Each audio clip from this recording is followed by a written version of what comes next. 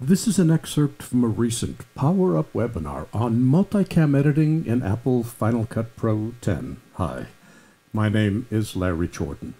In this excerpt, I'll show you how to work with multi-channel audio in a multicam clip.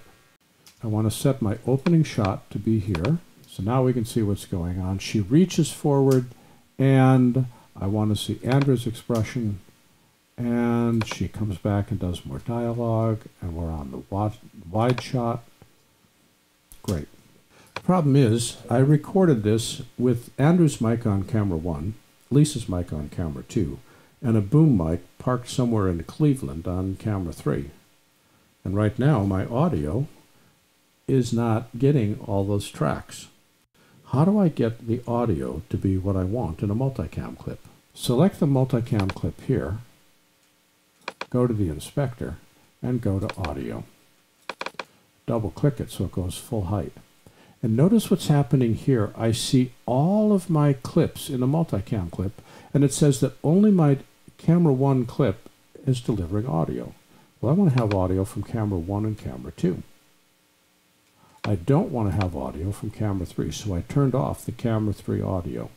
Andrew's sound is on channel one, not channel two.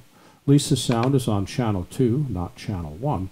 So for audio previewing, I'm not doing a mix. I can't do a mix in a multicam clip, but I can enable or disable specific tracks to make it easier for me to hear the edit. I've enabled Andrew's mic, I've enabled Lisa's mic, and I've turned off the noisy boom mic that's parked somewhere in the parking lot. And now when I play this back, I'm able to hear her and hear him for the purposes of the edit.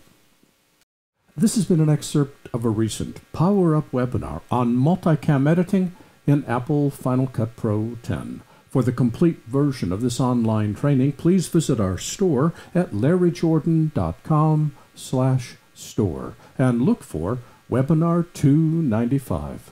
By the way, membership is a great value when you need to stretch your training dollars. Membership in our video training library saves you money and time. You can access all our videos for a low monthly price of only $19.99. That's more than 1,900 movies on a wide variety of subjects. Plus, premium members can download practice media and projects.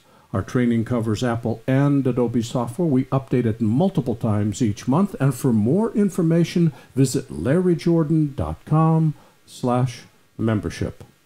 And thanks.